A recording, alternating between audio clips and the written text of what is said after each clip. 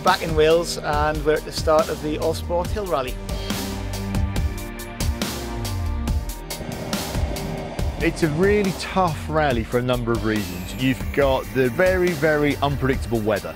You've got a lot of variety in the terrain. Soft, deep mud, vast Category A forest tracks, deep ruts, steep climbs. You'll have all of those within maybe a four or five mile stage. We need to be on our game to score points.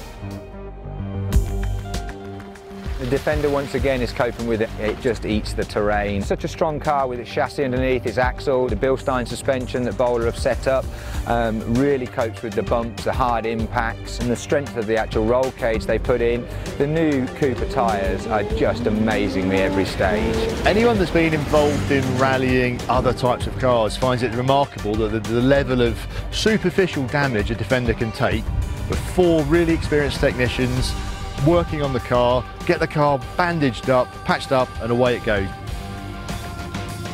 We're really proud and pleased to be running the V6 Development 110. It's its first competitive outing. We've done a lot of testing, but it, nothing prepares you for its first event. It's sort of the missing link between the 90 and our next generation Dakar car.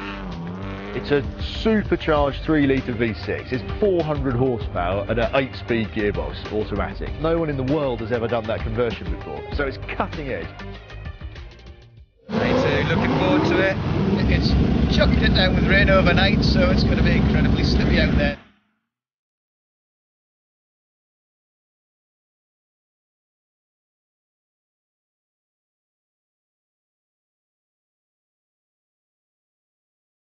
We had a slight bit of an off on the side of the track, but still no damage, so we'll just give it a real good check over. And yeah, no, no problem at all.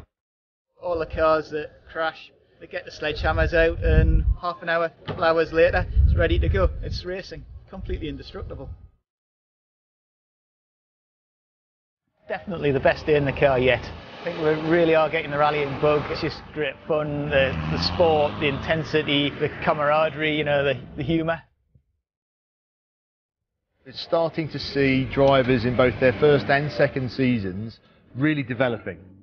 And they're trusting the car. That's what it's about. They trust the car, they trust the technicians, they trust the package, and they're pushing themselves.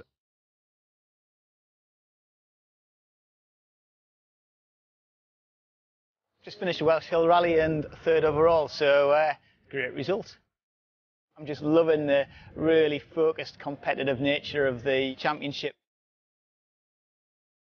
The stages have been some of the best I've ever driven. Looking at the times for everybody, it's been absolutely above and beyond.